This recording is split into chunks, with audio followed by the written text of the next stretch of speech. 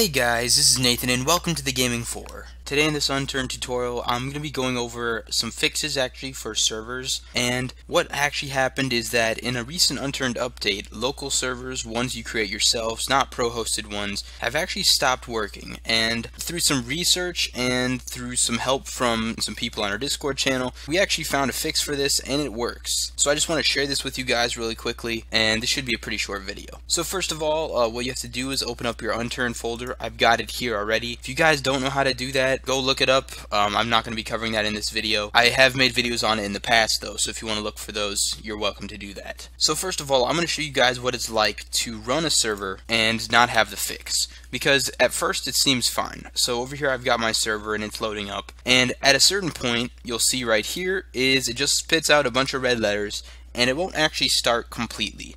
Now, if you look in sort of the area over here, you can see that it's looking for some folders and it's not able to find those and because of that it's erroring out. So uh, the obvious response to doing this is to just add those folders and run it again. So I'm going to show you guys how to do that real quick and there's actually two layers of fixes here. You have to do both to get it to working properly. So first of all, uh, the two folders that it's initially looking for is inside of bundles.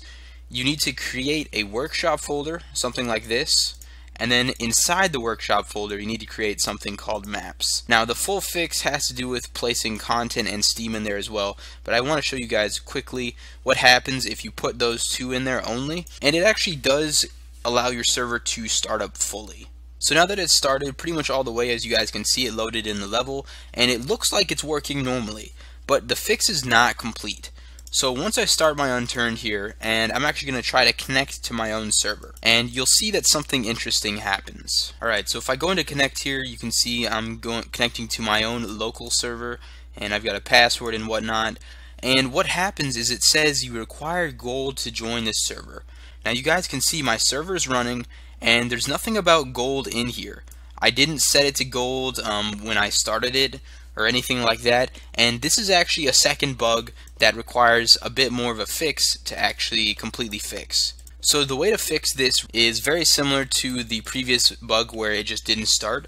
First of all, you got to go back into your bundles and then workshop folder, the one you created, and then all you need to do is add content and Steam to this folder. Now, there's nothing inside either of these folders, but for some reason, if you add them in there, it just fixes the server. So at this point, we're going to run the server one more time, and I will try to join into it one more time, and you guys will see that it'll work now. But as you guys can see as well, it sort of loads up normally just like it did before, except this time when I try to join it, it won't keep me from joining it. Something to mention also about the gold server bug is that even people with gold can still not join the server. So this is truly a bug. It doesn't just force your server to be a gold server. It really just breaks it. So as you guys can see, I can now join the server. You know, I can get into the world and everything and it works just normally. So anyway guys, I just wanted to get this video out to you guys pretty quickly. Um, obviously this is a recent issue and I just wanted to share the information. Anyway guys, thank you so much for watching. Please like the video if you enjoyed it and please subscribe if you want to see some. I will see you all